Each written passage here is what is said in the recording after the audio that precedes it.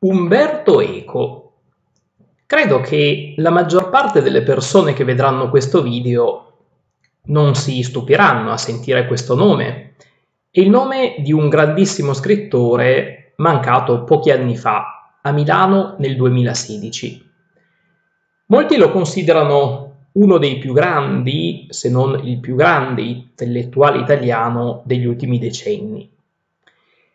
Credo che molti di voi lo conoscano tuttavia soprattutto come romanziere e l'autore soprattutto del Nome della Rosa, pubblicato all'inizio degli anni Ottanta e che ha reso celebre in tutto il mondo questo grande scrittore. Umberto Eco però è stato anche tantissime altre cose. È stato un grande accademico, un grande docente universitario, un grande esperto di semiotica, e l'autore di decine e decine di saggi scientifici molto interessanti ed importanti. È stato anche un mass mediologo, cioè uno studioso dei media o media, come si dice adesso, dei grandi mezzi di comunicazione. E ripeto, nel corso della sua lunga esistenza ha pubblicato una quantità incredibile di articoli, di saggi, di libri, spaziando dalla narrativa alla saggistica. In numerose occasioni ha composto inoltre degli scritti occasionali. Che cosa significa questa espressione un po' particolare? Dunque, uno scritto occasionale non è uno scritto composto a caso, in maniera, come dire, appunto occasionale, occasionalmente, come sembrerebbe far pensare la parola è al contrario un testo realizzato per una circostanza, per un'occasione ben precisa, come ad esempio un testo da leggere in pubblico durante un convegno, oppure durante una conferenza, o in occasione di una cerimonia di commemorazione, magari di un grande personaggio mancato poco tempo prima. In sostanza si parla di scritti occasionali Ogni volta che un autore compone intenzionalmente un testo, solitamente molto serio, per un'occasione seria, importante e ben precisa. Umberto Eco però è stato anche un genio, uno scrittore di grandissimo talento e spesso nei suoi scritti occasionali non ha messo da parte l'ironia pungente che spesso lo caratterizzava. Vorrei proporvi quest'oggi la lettura di uno dei suoi tanti scritti occasionali. Come vedrete si tratterà di un testo molto ironico, credo interessante, anche se non semplicissimo, ed è uno dei testi contenuti all'interno di un bel volume uscito una decina di anni fa, nel 2011, intitolato Costruire il nemico e altri scritti occasionali. Vedete che nel titolo di quest'opera compare l'espressione di cui abbiamo parlato nei minuti scorsi, scritti occasionali.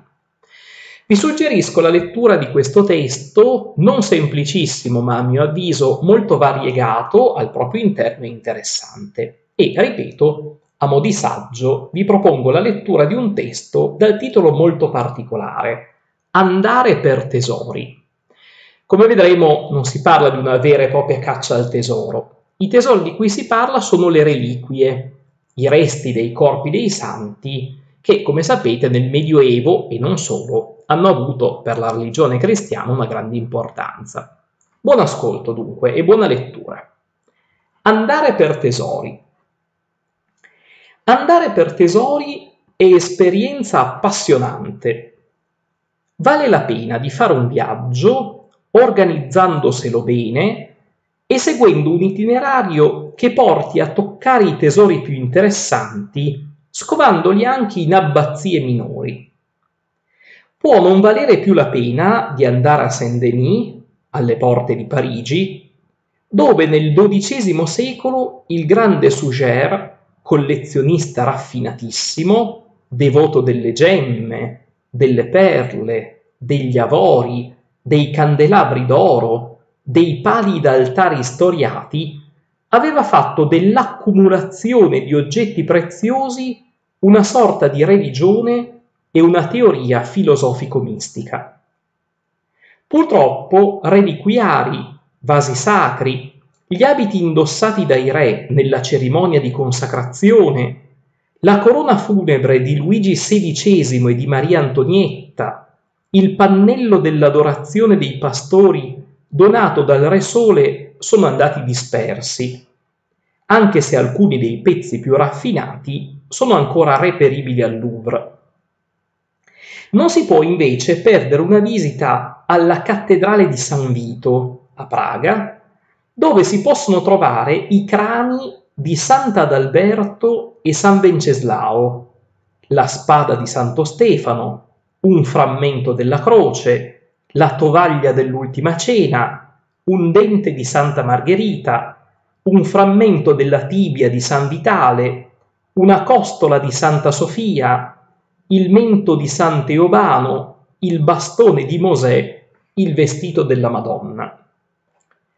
L'anello di fidanzamento di San Giuseppe stava nel catalogo del favoloso tesoro del duca di Berry, ora disperso, ma dovrebbe trovarsi a Notre Dame a Parigi, mentre nel tesoro imperiale di Vienna si può ammirare un pezzo della mangiatoia di Betlemme, la borsa di Santo Stefano, la lancia che ha colpito Gesù al costato con un chiodo della croce, la spada di Carlo Magno, un dente di San Giovanni Battista, un osso del braccio di Sant'Anna, le catene degli Apostoli, un pezzo del vestito di Giovanni Evangelista, un altro frammento della tovaglia della cena. Ma per quanto si stia attenti ai tesori, ve ne saranno di vicinissimi che si ignorano. Credo, per esempio, che pochissimi milanesi, per non dire dei turisti, abbiano mai visitato il tesoro del Duomo di Milano. Vi si possono ammirare una copertura dell'Evangeliario di Ariberto, XI secolo, con deliziose placche in smalto cloisonné, filigrane d'oro, castoni con pietre preziose. La ricerca delle pietre preziose e delle loro diverse qualità è uno dei divertimenti preferiti degli appassionati di tesori, perché si tratta di riconoscere non solo il diamante, il rubino o lo smeraldo, ma anche quelle pietre che si trovano sempre nominate nei testi sacri come l'opale, il crisopazio, il berillo, l'agata, il diaspro, la sardonica. A essere bravi si debbono saper riconoscere le pietre buone dalle false. Sempre nel tesoro del Duomo c'è una grande statua argentea di San Carlo, di epoca barocca, che poiché ai committenti o ai donatori l'argento sembrava ancora materia da poco, reca un pettorale con croce che è tutto un luccicare di pietre. E alcune, dice il catalogo, sono vere, altre no, e sono cristalli colorati. Ma lasciando cadere ogni acribia merceologica, si deve godere anzitutto quello che i costruttori di questi oggetti ne volevano ottenere, un effetto globale di sfavillio e ricchezza. Anche perché la maggior parte dei materiali preziosi dei tesori sono autentici e rispetto alla vetrinetta laterale di un tesoro qualsiasi, la vetrina del maggior gioielliere di Parigi non vale una bancarella del mercato delle pulci. Suggerirei poi uno sguardo alla laringe di San Carlo Borromeo, ma ci si soffermi più attentamente davanti alla pace di Pio IV, che una piccola edicola con due colonne in lapislazzuli oro che inquadrano una deposizione nel sepolcro in oro. Sopra c'è una croce aurea con 13 diamanti su tondo di onice variegata e il piccolo frontone e centinato in oro agata, lapislazzuli e rubini. Risalendo più indietro nel tempo, si trova una cassetta del periodo ambrosiano per le reliquie degli apostoli, di argento sbalzato, con magnifici bassorilievi, benché quanto a bassorilievi sia più affascinante un mistico fumetto in avorio, detto dittico delle cinque parti, arte ravennate del V secolo, con scene della vita di Cristo e al centro un agnello mistico in alveoli di argento dorato con paste di vetro, unica immagine a colori smorti su uno sfondo avorio vecchio. Sono esempi di quelli che una tradizione storica ci ha malamente abituati a chiamare arti minori. Ovviamente è arte senza aggettivo e si dia intorno qualcosa di minore, che artisticamente vale meno, è proprio il Duomo stesso. Se ci fosse il diluvio e mi chiedessero se salvare il Duomo o il dittico delle cinque parti, sceglierei certamente quest'ultimo e non perché sia più facilmente allogabile nell'arca. Tuttavia, anche a considerare l'acclusa cappella detta scurolo di San Carlo col corpo del santo e un contenitore in argento e cristallo che mi è parso più miracoloso del contenuto, il tesoro del Duomo non mostra tutto ciò che potrebbe. Consultando l'inventario dei paramenti e delle suppellettili sacre del Duomo di Milano, ci si rende conto che il tesoro propriamente detto è solo la minima parte di una raccolta dispersa nelle varie sagrestie che contempla paramenti splendidi, vasi, avori, ori e reliquie ghiottissime, come alcune spine della corona di Gesù, un pezzo della croce, Lacerti vari di Sant'Agnese, Sant'Agata, Santa Caterina, Santa Prassede e dei santi Simpliciano, Caio e Gerunzio. Quando si visita un tesoro, non è necessario avvicinare le reliquie con animo scientifico, altrimenti si rischia di perdere la fede, poiché notizie leggendarie riportano che nel XII secolo, in una cattedrale tedesca, si conservava il cranio di San Giovanni Battista all'età di 12 anni. Ma una volta, in un monastero del Monte Athos, parlando col monaco bibliotecario, ho scoperto che era stato studente di Roland Barthes a Parigi e aveva fatto il 68 e quindi, sapendolo uomo di cultura, gli ho chiesto se lui credeva all'autenticità delle reliquie che baciava devotamente ogni mattina all'alba durante un'interminabile e superba funzione religiosa. Lui mi ha sorriso con dolcezza, una certa maliziosa complicità, e mi ha detto che il problema non stava nell'autenticità, ma nella fede, e che lui, baciando le reliquie, ne avvertiva il mistico profumo. Insomma, non è la reliquia che fa la fede, ma la fede che fa la reliquia ma neppure un miscredente può sottrarsi al fascino di due portenti. Anzitutto l'oggetto stesso, queste cartilagini anonime ingiallite, misticamente ripugnanti, patetiche e misteriose, questi brandelli di abiti di chissà quale epoca, sbiaditi, scoloriti, sfilacciati, talora arrotolati in una fiala come un misterioso manoscritto nella bottiglia, materie spesso sbriciolate che si confondono con la stoffa e il metallo o l'osso che fan loro da giaciglio. E in secondo luogo i contenitori, spesso di incredibile ricchezza, talora costruiti da un bricoleur devoto con pezzi di altri reliquiari a forma di torre, di piccola cattedrale con pinnacoli e cupole per arrivare a certi reliquiari barocchi, i più belli sono a Vienna, che sono una foresta di sculture minute e sembrano orologi, carillon, scatole magiche. Alcuni ricordano, agli appassionati di arte contemporanea, le scatole surrealiste di Joseph Cornell e le teche piene di oggetti serializzati di Armand, reliquiari laici, ma che esibiscono lo stesso gusto per i materiali consunti e polverosi, per l'accumulazione forsennata e impongono una visione analitica, minuta, che si rifiuta al semplice colpo d'occhio. Amare i tesori significa anche capire qual era il gusto e degli antichi mecenati medievali e dei collezionisti rinascimentali e barocchi sino alle Unterkammern dei principi tedeschi. Non esisteva una distinzione netta tra oggetto devoto, trovata strana e opera d'arte.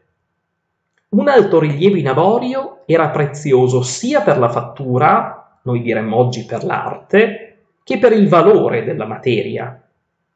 E allo stesso titolo era avvertito come prezioso, godibile, meraviglioso, l'oggetto strano, per cui il tesoro del duca di Berry allineava insieme a calici e vasi di gran valore artistico anche un elefante impagliato, un basilisco, un uovo che un abate aveva trovato dentro un altro uovo, della manna del deserto, una noce di cocco, un corno di unicorno.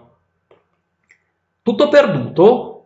No, perché un corno di unicorno si trova anche nel tesoro di Vienna e vi dà la certezza che gli unicorni esistessero, anche se il catalogo informa con spietatezza positivistica che si tratta di un corno di narvalo. Ma a questo punto il visitatore entrato nello spirito del buon amatore di tesori guarderà con lo stesso interesse al corno, a una coppa di agata del IV secolo che la tradizione vuole sia la coppa del Graal, alla corona, al globo e allo scettro imperiale, splendori dell'oreficeria medievale, e siccome il tesoro di Vienna non conosce limiti di tempo, al letto a colonnine impero nel quale dormì lo sfortunato figlio di Napoleone, il re di Roma, ovvero l'Aiglon, che a questo punto diventa altrettanto leggendario degli unicorni e del Graal. E si deve essere capaci di dimenticare ciò che si è letto nelle storie dell'arte, di perdere il senso delle differenze tra curiosità e capolavoro, per godere anzitutto l'ammasso di meraviglie la sfilata di prodigi, l'epifania dell'incredibile. E sognare il cranio di San Giovanni all'età di 12 anni, pregustando nelle venature rosee il color cenere di fondo, l'arabesco delle giunture sbriciolate e corrose e la teca che lo deve contenere, dagli smalti blu come l'altare di Verdun e il cuscinetto interno di raso ingiallito coperto di rosellini appassite nella teca di cristallo, senz'aria da duemila anni, tutto immobilizzato sotto vuoto, prima che il Battista crescesse e perdesse sotto la spada del carnefice l'altro cranio, più maturo, ma di minor valore mistico e commerciale, perché se una presunta testa è conservata nella chiesa di San Silvestro in Capite a Roma, una tradizione precedente la voleva nella cattedrale di Amiens e comunque il capo custodito a Roma dovrebbe mancare della mandibola, rivendicata dalla chiesa di San Lorenzo in Viterbo. Per il resto basta prendere la carta geografica e fissarsi degli itinerari fattibili. Per esempio la Vera Croce, scoperta a Gerusalemme da Sant'Elena, madre di Costantino, era stata sottratta dai persiani nel VII secolo e poi recuperata dall'imperatore bizantino Eraclio.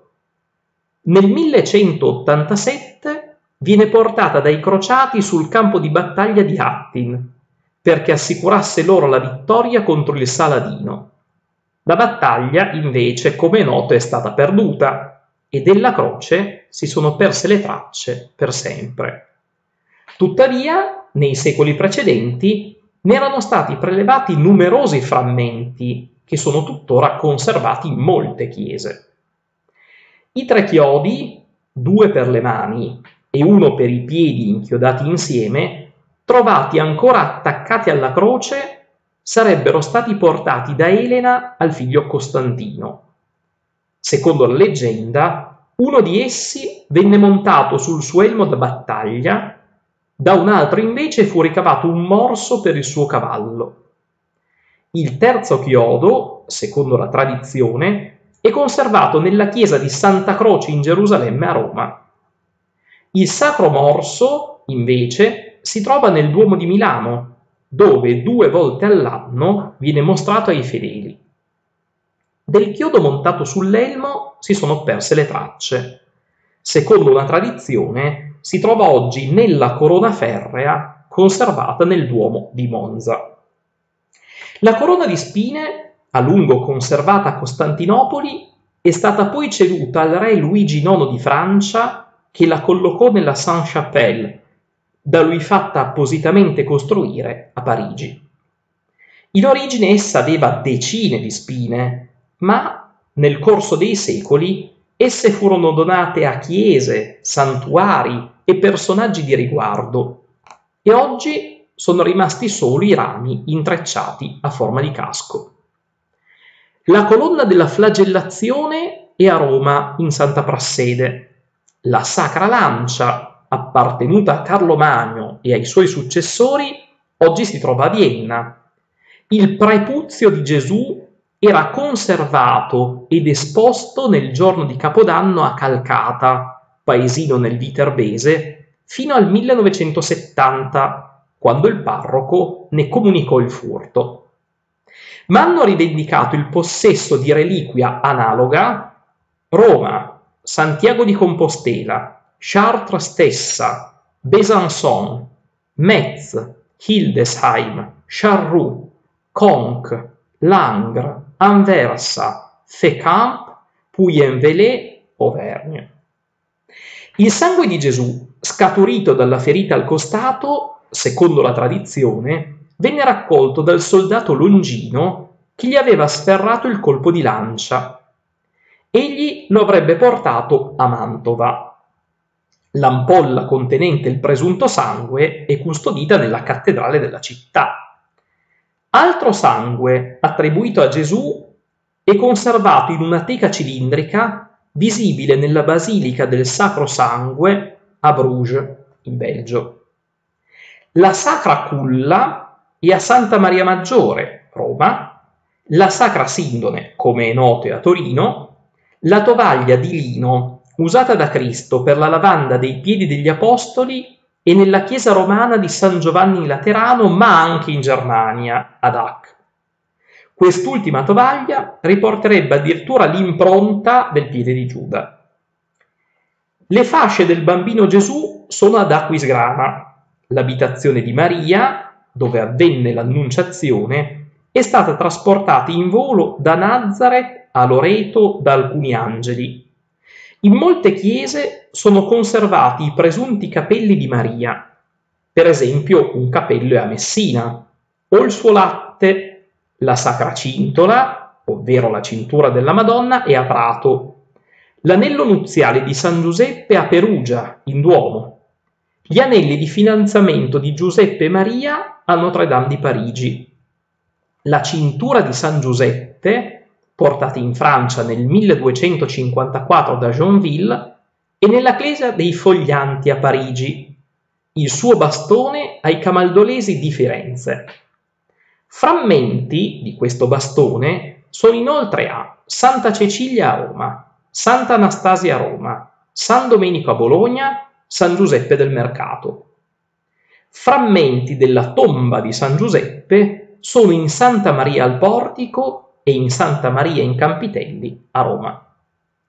Frammenti del Sacro Velo della Madonna e della veste di San Giuseppe si trovano a Santa Maria di Licodia, conservati in un artistico reliquiario in argento, opera del XVII secolo. Tale reliquiario veniva portato in processione fino agli anni 70 del Novecento, l'ultimo sabato del mese di agosto, in occasione della festa patronale. Il corpo di San Pietro era stato sepolto a Roma, nel luogo vicino al suo martirio, presso il circo di Nerone. Sul posto venne poi costruita l'omonima basilica costantiniana e poi l'attuale basilica di San Pietro. Nel 1964, a seguito di una campagna di scavi archeologici, fu annunciato il ritrovamento delle ossa dell'Apostolo, oggi collocate sotto l'altare. Il corpo di San Giacomo Maggiore, secondo la leggenda, fu trasportato dalla corrente del mare fino alla costa atlantica della Spagna e sepolto in un luogo chiamato Campus Stelle. In tale località sorge oggi il santuario di Santiago di Compostela, fin dal Medioevo una delle principali mete di pellegrinaggio con Roma e Gerusalemme. Il corpo di San Tommaso Apostolo è custodito nella cattedrale di Ortona, Chieti, portato nel 1258 da Chios, isola del mare Egeo, dove era stato posto in salvo dai cristiani dopo la caduta di Edessa nel 1146. A Edessa erano state portate da Madras, luogo del martirio nel 72, intorno al 230 per ordine dell'imperatore Alessandro Severo. Uno dei 30 denari per cui Giuda Iscariota tradì Cristo è nella sacrestia della collegiata di Visso, un corpo di San Bartolomeo Apostolo è a Roma, riportato sull'isola Tiberina da Pio IV, un altro in San Bartolomeo a Benevento.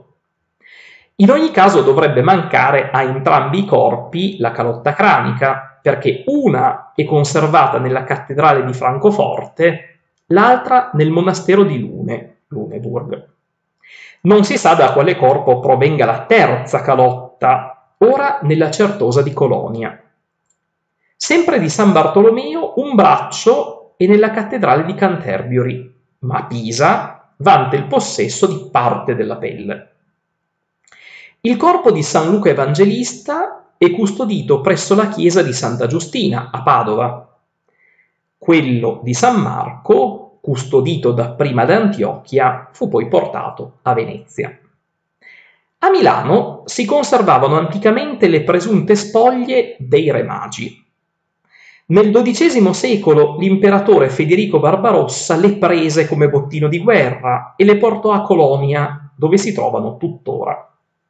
Alcuni resti furono restituiti a Milano negli anni 50 del Novecento e sono stati posti in San Eustorgio. Le spoglie di San Nicola di Bari, ovvero Santa Claus, erano custodite a Mira, in Asia Minore. Nel 1087 furono trafugate da alcuni marinai baresi e trasportate nella loro città. Il corpo di Sant'Ambrogio, patrono di Milano, è sepolto nella cripta della basilica a lui dedicata, insieme ai corpi dei santi Gervasio e Protasio.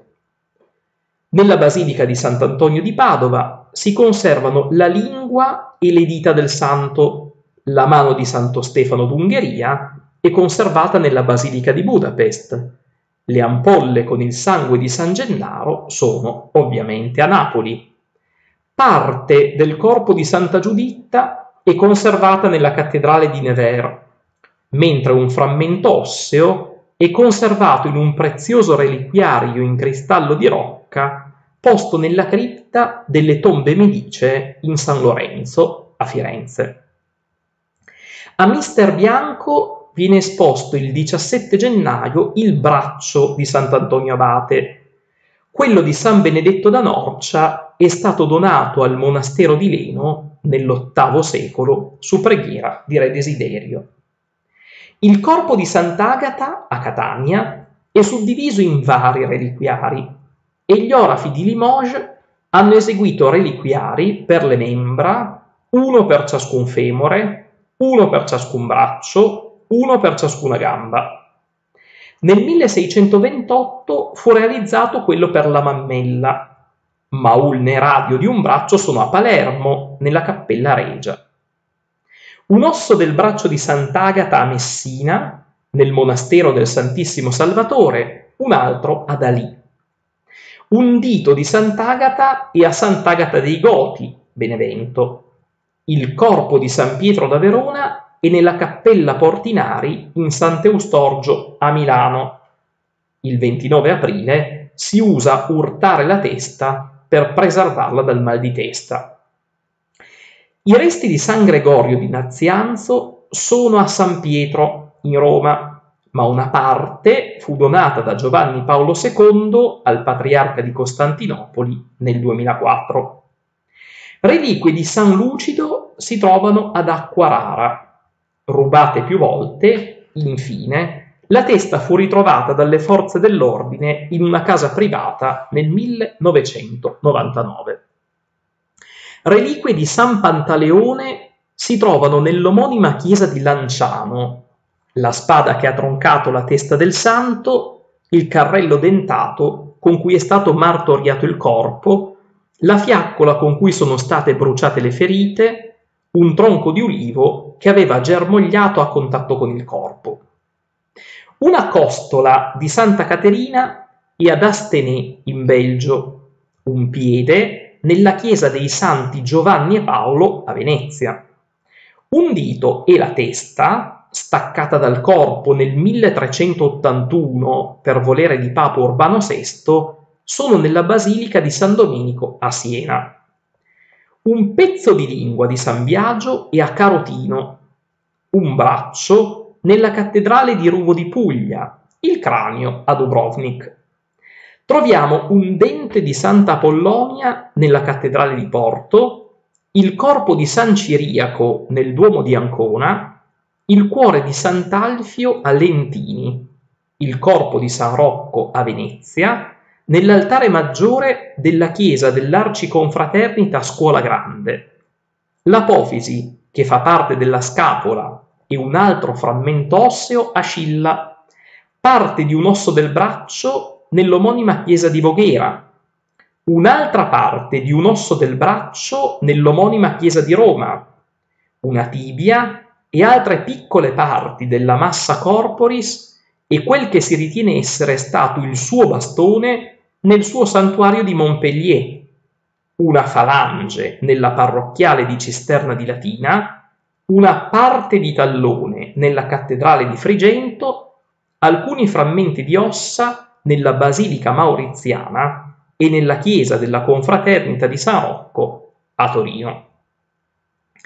A Costantinopoli venivano venerate reliquie poi disperse dopo la quarta crociata, come il manto della Madonna, il Maforion, i sandali di Cristo, la veste di San Giovanni Battista, un'ampolla con il sangue di Cristo, che venne usato per firmare certi documenti solenni il parapetto del pozzo davanti al quale si svolse l'episodio evangelico di Cristo e la Samaritana, la pietra su cui venne composto il corpo di Cristo dopo la morte, il trono di Salomone, la verga di Mosè, i resti degli innocenti fatti uccidere da Erode, una porzione di sterco dell'asino sul quale Gesù entrò a Gerusalemme, l'icona della Vergine Odigitria, che sarebbe stata dipinta dall'Evangelista San Luca, le icone considerate miracolose in quanto non dipinte da mano umana, a Cheropite, il mandulion, il panno con impressa l'immagine del volto di Cristo, inizialmente a Edessa, dove aveva fama di rendere invincibile la città quando esposto sulle mura. Non vorrei aver dato l'impressione che quello di conservare reliquie sia soltanto un vezzo cristiano, anzi cattolico. Plinio ci parla di reliquie preziose per il mondo greco-romano, come la lira di Orfeo, il sandalo di Elena o le ossa del mostro che aveva assalito Andromeda. E già in epoca classica la presenza di una reliquia costituiva un motivo di attrazione per una città o per un tempio e quindi rappresentava, oltre che un oggetto sacro, anche una preziosa merce turistica. Il culto delle reliquie è stato tipico di ogni religione e cultura e dipende da un lato da una sorta di pulsione che definirei mito-materialistica, per cui si può ritrovare qualcosa del potere di un grande o di un santo toccando pezzi del suo corpo dall'altro dal normale gusto antiquario, per cui il collezionista è disposto a spendere capitali non solo per avere la prima copia edita di un libro famoso, ma anche quella appartenuta a una persona importante. In questo secondo senso, ma forse anche nel primo, c'è anche un culto reliquiario laico e basterebbe leggere regolarmente i bollettini delle aste Christis per vedere come un paio di scarpette appartenute a una celebre diva vengano proposte a prezzi superiori a quelli di un quadro di un pittore del Rinascimento. Questi memorabilia possono essere sia i guanti veri di Jacqueline Kennedy, sia quelli falsi indossati da Rita Hayworth in Gilda. D'altra parte, ho visto molti turisti a Nashville, Tennessee, andare ad ammirare la Cadillac di Elvis Presley e dire che non era l'unica, perché ne cambiava una ogni sei mesi. Naturalmente, la reliquia più famosa di tutti i tempi è il Santo Graal, ma non consiglierei a nessuno di mettersi alla sua ricerca perché i precedenti non militano a favore dell'impresa. In ogni caso, è scientificamente provato che 2000 anni non bastano. Grazie per l'attenzione. Se vi è piaciuto questo video e se avete piacere di farlo, iscrivetevi al mio canale e ci diamo un arrivederci al prossimo video. Ciao a tutti!